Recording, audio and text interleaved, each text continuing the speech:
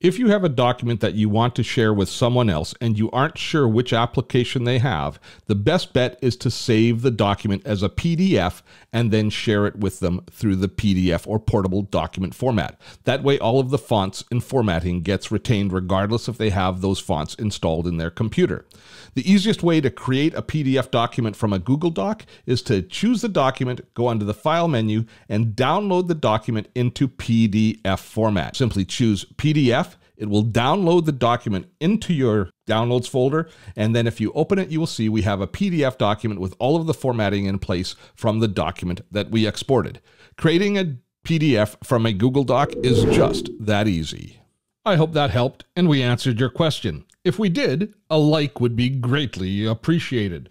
Check out our other videos, and if there are questions you have that aren't answered by them, please Share those thoughts in YouTube comments, and we'll do our best to create a video on that topic in the future. Till next time, I'm Steve Dotto. Have fun storming a castle.